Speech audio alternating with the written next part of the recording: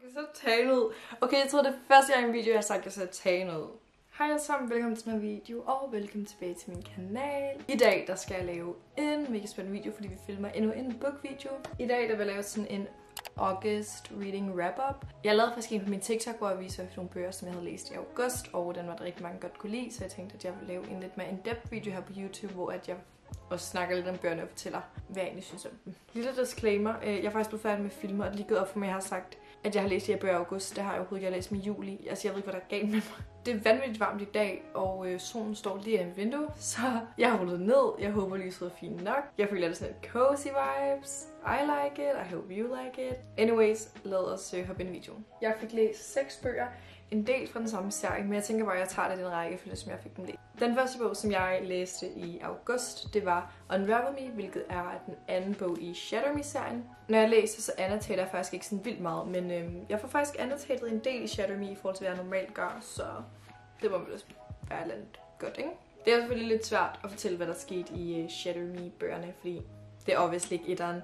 Men øh, hvis I kender den, så handler det om øh, den her pige, som hedder Juliet, som har nogle magiske kræfter. Hvis nogen rører ved hende, så dør de. Det er sådan en dystopian fantasy. Der er sådan en gruppe, som hedder The Reestablishment, øhm, som egentlig er lidt af The Government-agtigt, som har ligesom overtaget hele jorden, og folk lever i vildt dårlige forhold, der er ikke noget mad, og det her det er så fortællelsen, og der er i alt seks bøger og fem noveller, mener jeg, øh, så der er en del at hive fat i. Skal jeg være helt ærlig, så var de første 200 sider af den her tough. Jeg kom lidt ind i en reading slump faktisk. Det tog mig rigtig lang tid at komme igennem de første 200 sider cirka. But then, de sidste 200 sider af den her bog, jeg svæver, det er det bedste, jeg har læst i... Det var i hvert fald noget af det bedste, jeg har læst i lang tid. Hold kæft, hvor var det godt. Oh, altså, jeg åd det rødt. Altså, sådan, det kom... Altså, det... Jeg kan ikke snakke, det er så varmt. Jeg læste så hurtigt, og det var så godt. Altså, det var så godt. Two words. Erin Warner. I said what I said. Jeg vil rigtig gerne give den her 5 stjerner. For jeg er os 5 stjerner. Det er en 5 star serie. Men så husk jeg på, Karoline, du havde de første 200 sider. Du synes, det var vigtigt at komme igennem. Du kan ikke give den 5 stjerner. Så den har fået 4 stjerner. Øhm, men de sidste 200 sider, den her, det er 10 stjerner, 12 stjerner, 18 stjerner, 1000 stjerner.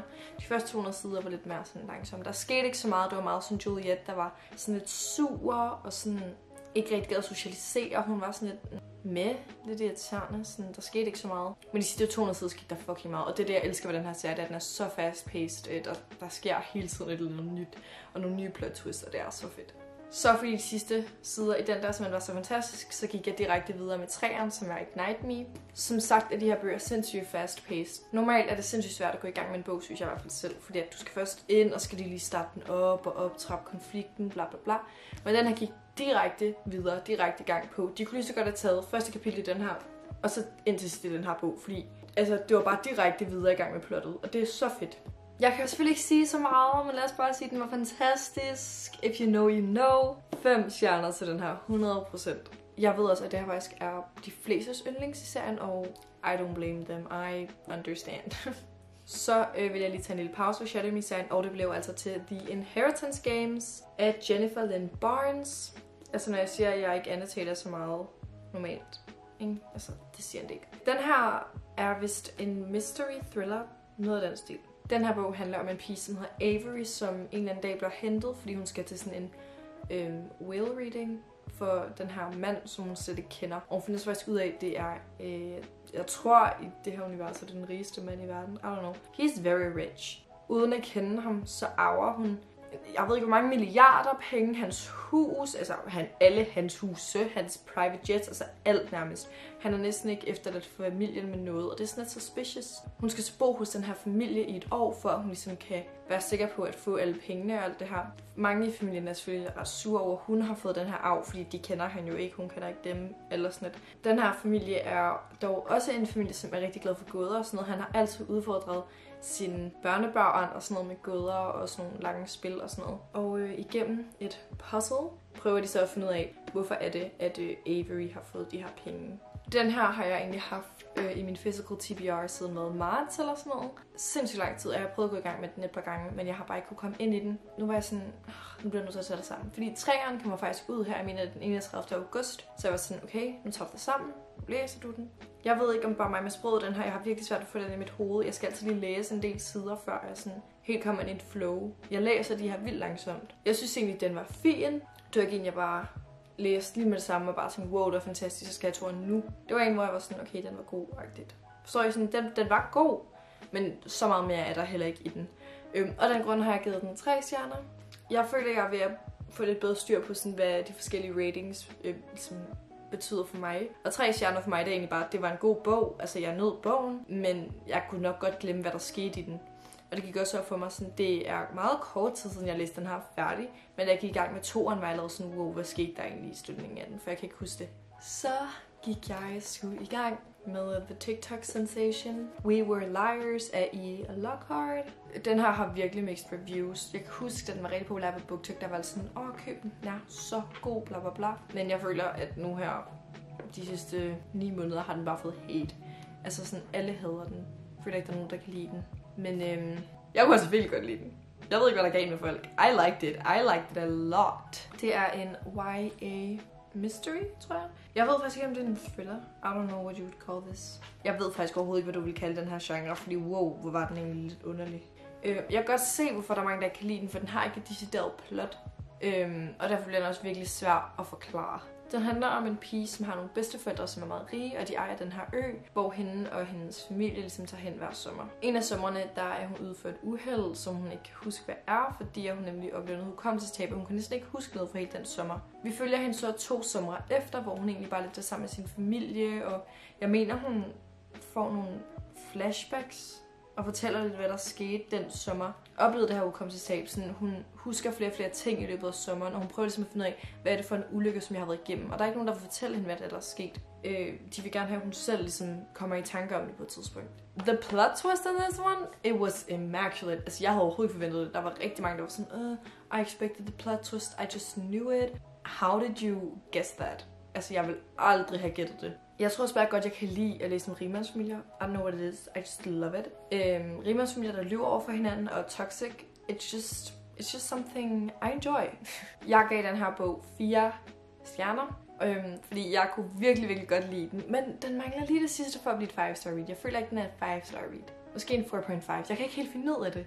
Men øhm, den var i hvert fald sindssygt, sindssygt god. I really liked it det er også alle de små ting, som bare gav mening, da det var, man læste det her plot twist, eller ligesom hvad det var, der egentlig var sket. Sådan det hele, det flød bare sammen, hvor når man havde læst, tænkte man sådan, hvad det her, det er vildt underligt. Det eneste ved den her bog, det er, at der er så mange personer. Der var så mange navne. Altså, I was so confused. Hvis der ikke havde været det her stamtræk, så havde jeg været lost for længst. Altså, så tror jeg, jeg havde DNF den her bog, fordi så havde jeg ikke fattet noget. Men nu var der heldigvis det samme træ, så man kunne godt følge lidt med. Men øhm, 4, 4,5 stjerner deromkring.